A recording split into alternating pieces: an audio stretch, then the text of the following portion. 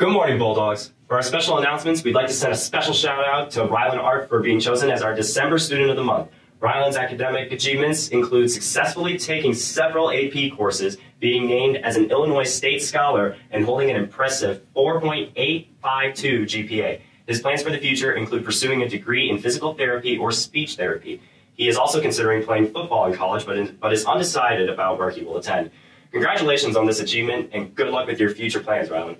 We have huge news from the music department to share with you. For the first time in many years, we have two choir students representing Grant at the ILMEA All-State Festival in January. Congratulations to Miles Foreman and Zach Langhoff on qualifying for All-State. And even more impressively, the Honors Chorus. The Honors Chorus, which is the highest accomplishment at All-State, includes students who scored in the top 5% in their vocal audition. Make sure to keep an eye out for more information as we get closer to January 24th, and congratulate Miles and Zach when you see them. Our boosters need help covering shifts in the concession stands.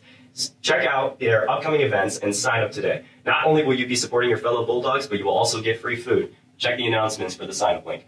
Yearbook spring inserts from last school year are now available. Stop by room 180 to pick up your insert. If you did not have a chance to order last year's yearbook, reach out to Mr. Schmedeke. There are a few copies left for purchase, and they're available for $45 cash or check. If you're looking to order this year's issue, check the main page of the Grant website for ordering information.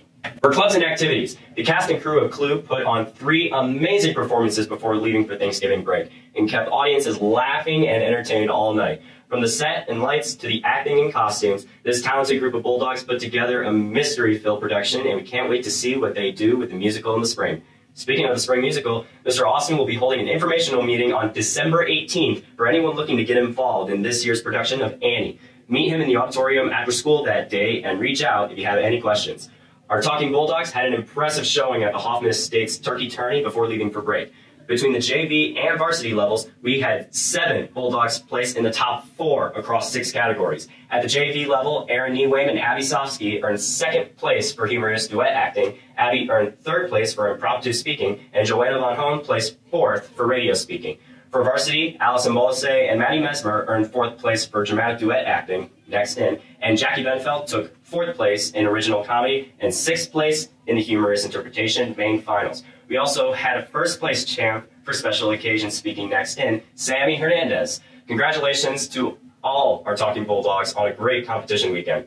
Looking for some awesome new Grant gear that was designed by one of our talented artists? Look no further. NAHS is selling t-shirts and hoodies through December 15th. Check the announcements for their order form and payment information. Next week, NAHS has two events scheduled. On Tuesday, December 5th, they'll be holding a general meeting at 710 in room 108. On Friday, December 8th, they will be hosting a paint night for Grant families in the Commons starting at 5.30 p.m. An officer will be providing live instruction for their fun winter painting, and it's only $15 to participate. Check the announcements or the TVs for the sign-up link and reserve your spot today. The Snow Dogs are selling new spirit wear options. Check out what they have in stock and order a shirt or two. We hear it makes for good holiday presents. Their store closes on December 11th, so make sure to get your orders in before it's too late. Interested in starting a fiber arts club at Grant, but missed yesterday's meeting? Stop by room 272 or email Miss McKinney to get involved today.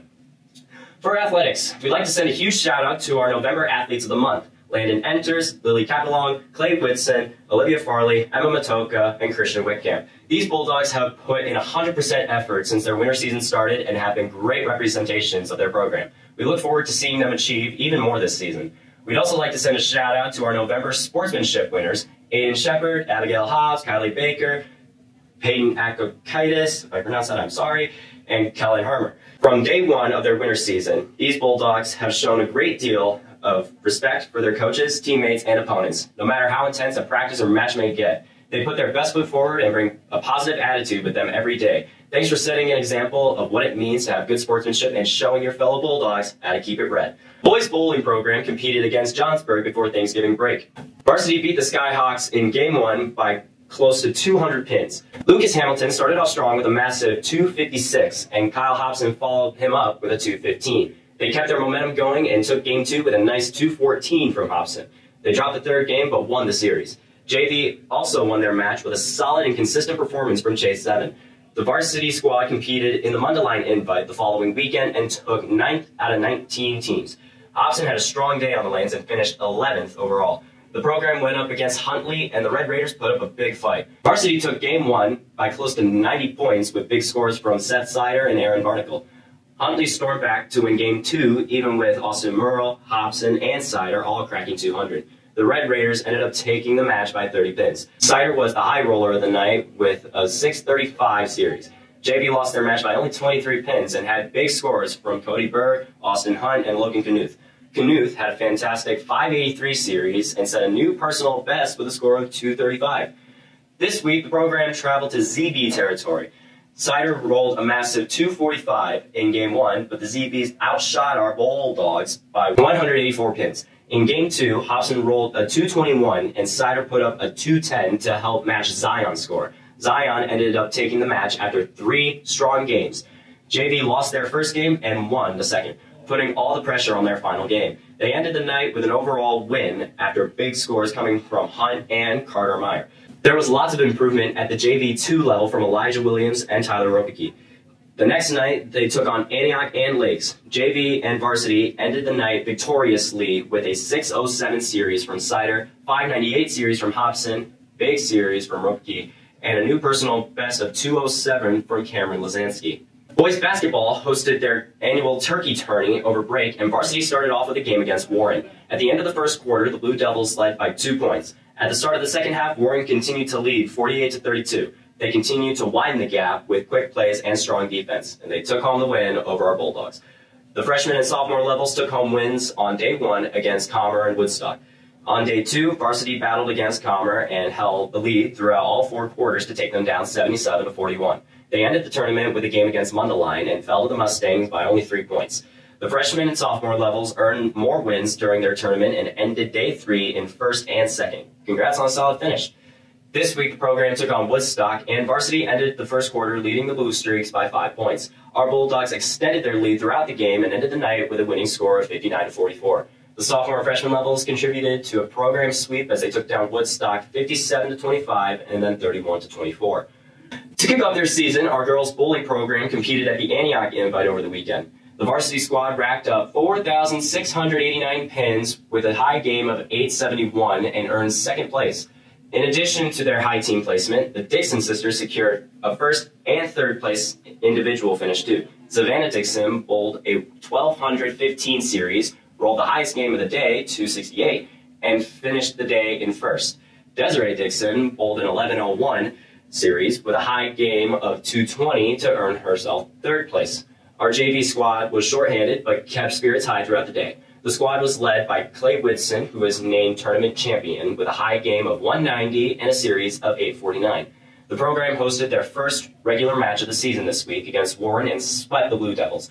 Great job on the lanes, Bulldogs. It was a packed break for our wrestlers as they competed in four tournaments, including a two-day varsity invitational. Varsity took a trip to Barrington High School for the Moore Prettyman Thanksgiving tournament. They showed a lot of strength through day one with a win over Buffalo Grove, a tough loss to Prospect, and seven Bulldogs in the quarterfinals. The team ended day two, eighth overall, and had four Bulldogs place. Congrats to Vince Jasinski for taking second place, Eric Rodriguez and Christian Wickcamp for taking third place, and Sammy Mendez for taking seventh place. Our squad of female varsity wrestlers competed in the inaugural Sandy Gasarston Wrestling Invitational and brought home two top placements. Congrats to freshman Riley O'Grady for taking second place, and to Mila Reyes for taking fourth place.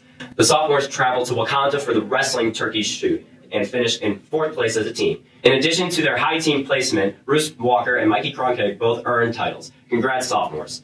The freshmen kicked off their season with a tournament at Rockford East and had an incredibly strong showing across the boards. Congrats to John Von Hone for earning first place, Cameron Chavez for earning second place, Andrew Ocampo and Angel Meza for securing third place, and Elian Lemus for taking fourth place. If I botched that, I'm sorry.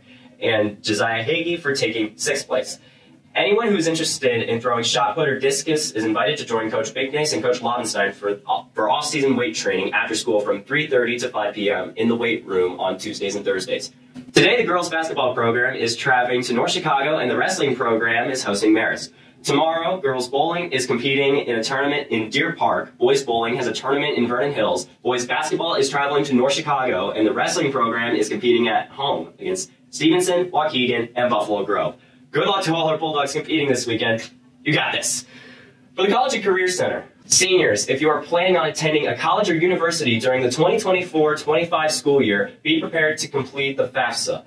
The application is expected to open by December 31st. Reach out to your counselor if you have any questions.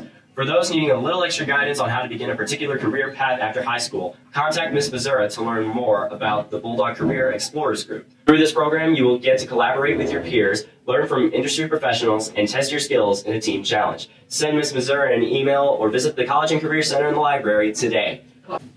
Well, that's all from us this week. Have a great day, enjoy your weekend, and remember, keep it red, Bulldogs.